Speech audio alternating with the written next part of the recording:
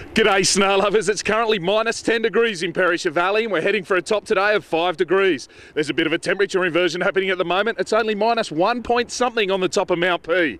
There's plenty of fresh snow out there today. The guns have been going wild all night long. We're expecting some nice snow riding out there today. It will be crunchy off piste, but the snowmaking areas will be absolutely beautiful.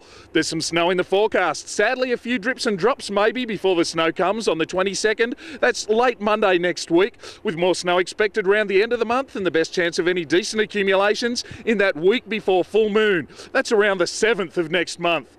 We look forward to seeing you on the hill. The roads are clear and clean all the way to the top. There's a couple of icy sections. Take care, conditions can change quickly. This is Mick Eyers for Snowy Mountains Television and Larry Adler Ski and Outdoor.